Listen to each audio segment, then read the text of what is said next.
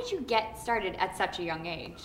Uh, well, it, it was it born in me. Uh, at 18 months old, my parents have videos of me singing uh, on top of our little preschool high. Uh, what do you call those? Uh, little table and chairs. Oh, like a high chair? Like a high chair type of deal, singing. Uh, so it really was born in me, and uh, started singing in church and in the choir at school at four and five and six years old. And then when I was seven, uh, my grandmother, my mom's mom, introduced me to a local vocal coach who had had a career of her own, came back to Rhode Island, her hometown, and uh, was to begin teaching voice. So I went down to her house, and that was an instant connection. And she's been with me now since seven years old till today. Uh, she became my vocal coach and co-manager, and now she's my manager. And she introduced me to agents around here at nine and seven, eight, nine years old, and started working at all the local festivals and fairs. And so, yeah, I've literally, literally been working my whole life. That's incredible. Yeah. And so, I mean, you had so much success at this incredibly young age. Has it been hard to sustain that? Now, I mean, you're older now, obviously, and you're still a huge success, but has it been hard to kind of keep the momentum going, or it just comes naturally? Well, you know, you just release a great song and, and you put your heart into it, and hopefully people will enjoy it. You know, the momentum is there if the song is if, if the song can stand on its own, if the video is of good quality.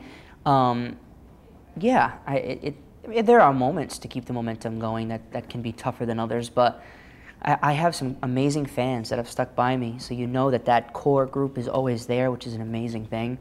Um, so it, it has its moments.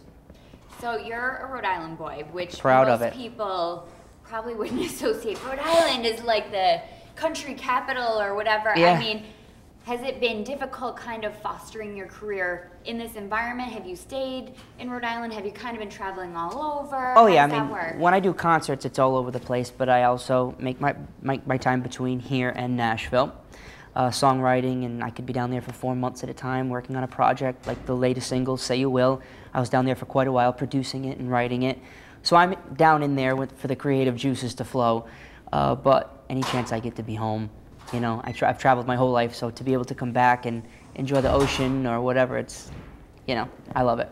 so tell us about Say You Will. So that's your, your new song. Tell us all about it. Yeah, Say You Will. It's uh, my first ever released song, co written by me, co produced by me. So it's my baby, so don't hate it. Um, but very excited. We're shooting, shooting the video, it's actually done. Some minor tweaks are being uh, added to it, and uh, hopefully the release will be in a week or two. So, very excited. I know what you've been working on now is very personal to you. You've Yeah. recently come out as being gay. Yes. What made you want to come out? Like, did you feel like you had to make like a statement to the public, or was it something you didn't even really think about growing up? What made you kind of decide to say to everyone, "Yes, I'm gay"? Well, I was always very, an, a very animated person. My, my father is very animated. My mom is animated. We come from that kind of, you know, attitude. Um, so I thought it was just me being me, you know. So I never really thought about it. It was never a struggle. Um, I have a wonderful, wonderful family. Maybe that made it so it, they didn't harp on thinking that I was. For me to start thinking it, who knows? Um, but in the last uh, seven months, really, it really started to evolve into, uh, yeah, I, I, I am gay, and uh, I met someone through mutual friends, actually a mutual friend that's also a, a local Rhode Island artist, and when I met him, I just it just it was different, you know. I, I said this this is the right place, you know, and so through that time we would do things together, and we went to a fall festival uh, in on Federal Hill, and asked uh, a, a gentleman to take a picture of us. And the guy goes, Are you Billy Gilman? And I says, Yeah, I, I am. And he said, I'm doing a report on you next Sunday. I went, Oh, great. So in that instance, I knew that it was uh, it wasn't going to be long before things started to, to come out. And I thought, you know what? Why not do it my way than having it heard in some magazine, which will probably be filled with lies or some something ridiculous, because they love to do that with everyone. Um, so anyway, and then doing the video, they want because none of my team knew at that point. So we were going ahead with me playing aside with a girl in the music video, and I knew that I couldn't lie anymore. it was just time. It was not worth it and not fair to anyone, including myself. And so then I went to, through the process of how I was going to do it. Was did I want to go on the Today Show or did I want to just release a video that's honest and not all the th- frills, you know? And that's where I felt it necessary because it's not about exploiting music or it's not about exploiting country music, not really accepting gay artists. It was just me saying to my fans, "You've stuck by me forever. It's a long road, and this is why." Uh, just to be honest, you know, I think honesty is the best policy and truth. And if it's if it always comes from that spot, you can never fake it. You know. So I thought that would be the best. So I did it on a on a YouTube video. Great. How has the reception been? Is it kind of what you expected? Not that you could really probably ever prepare for something like that, but how's it been?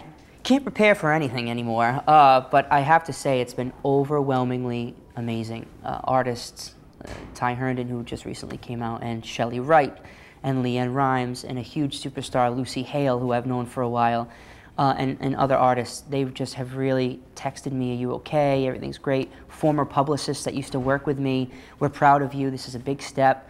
Uh, you're leading the way for some great things about to happen, which makes me feel really great. And that's what it's about moving forward, just to be a success and, and to, to do me. You know, it, that's, that's what it comes down to. You know, it's, some people I'm sure will deem this, oh, he came out because he wants to be famous again. No, I just, I just came out to be honest with my fans. And uh, where that leads me in music, who knows? But I'm very excited. It's a great reason. Um, so now this kind of does put you in this like role model situation, whether mm-hmm. you want it or not. Oh yeah. Do you have a message for people? I'm sure people are looking to you. You're an inspiration now. Do you have a message, or you're just kind of just trying to do you? You have to do you, but I've always been an advocate for children's cancer. One of my great friends, Marlo Thomas uh, St. Jude's Children's Hospital. Uh, Jerry Lewis with the muscular dystrophy, being with kids, and and uh, no different being an advocate for me, you know, uh, and to all that are going through the same thing. There's so much life, and I never realized how beautiful life was until I had someone to share it with in that way. Um, so there's so much life to live, and you know, I know it may be hard with if your family isn't accepting or something, but find your niche and find your group where you can be happy because life is far too short. You know, I've lost grandparents way too young, and it makes you realize you got to live life, you know, where your heart can, at night, when your heart feels whole, and, uh, and just hang in there because it does get better. Okay, let's switch it up. Let's talk Rhode Island really quick. Yes. Some of your favorite things about Rhode Island. I assume you were at the Columbus Day Parade up on Federal Hill. Was, was that what it was? I guess what it was. Assuming. Yeah, it was uh, Columbus Day weekend. Was there like Italian sausage and Oh yeah. That's where you were. About four different stages yes. of people singing lyrics I had no idea. I think that's where you were. So, what are some of your favorite Rhode Islandisms, or even places to eat or places to go? Kind of the what's home to you? Home to me, home to me, home to me. Oh, a lot of things. home to me is West Bakery, they're Bismarcks. That's that is home, and they're and they're uh, Italian grinders. Literally, I probably go in there two or three times a week. I'm on the treadmill, basically the rest of the time working it off.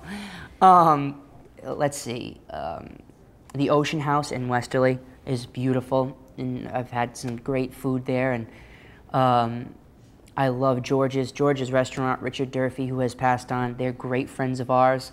Uh, great restaurant. They just renovated it, so go check it out. No plug intended. Um, I'm not a fan of coffee milk.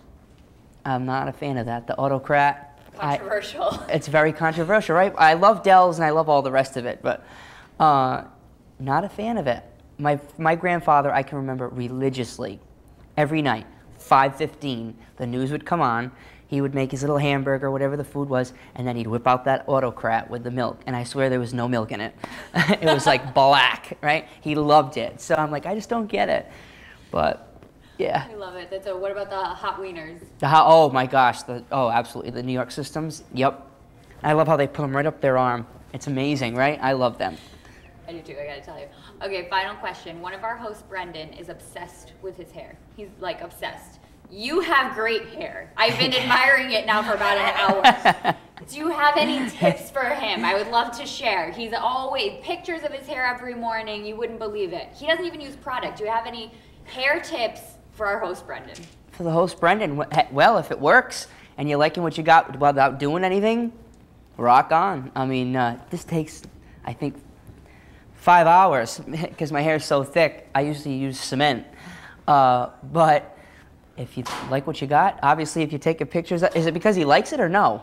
He likes it. He does like it. He's just he's interesting, but it's so particular. He just it's like that certain way. He does like it, but he knows when he's not having a good hair day too. So it's Oh, always yeah. a topic of conversation. That's right. That's right. I take more time in the bathroom than anyone.